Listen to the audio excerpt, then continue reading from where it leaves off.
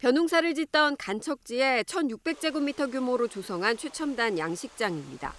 한대성 어종인 연어를 키우기 위해 한여름에도 10도 안팎의 수온을 유지하고 있습니다. 수온과 산소 공급량, 염도를 자동으로 조절할 수 있는 자동화 관리 시스템이 도입됐습니다. 최소한의 인력으로 유지 가능하고요. 그 다음에 그 사람이 운영하거나 할 때 그 실수라든가 이런 부분 많이 줄일 수가 있고요. 그리고 계획, 계획성 있게 양식을 할 수가 있습니다. 스마트 양식장에서 사용하는 해수는 이처럼 순환 여과기기를 활용해 대부분 재사용하기 때문에 오염수 배출량도 크게 줄였습니다. 무엇보다 폭염과 한파, 태풍 같은 자연재해 상황에서도 대량 폐사 걱정을 덜 수 있는 게 가장 큰 장점으로 꼽힙니다.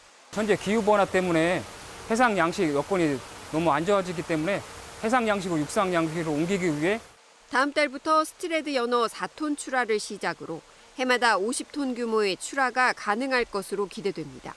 판매 가격도 수입 단가의 절반 수준에 불과해 수입 대체 효과와 더불어 양식어가 소득 증대도 기대되고 있습니다.